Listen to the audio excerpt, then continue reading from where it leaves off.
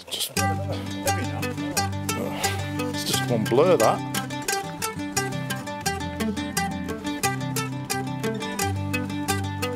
He's got a match and he's got one of pencils.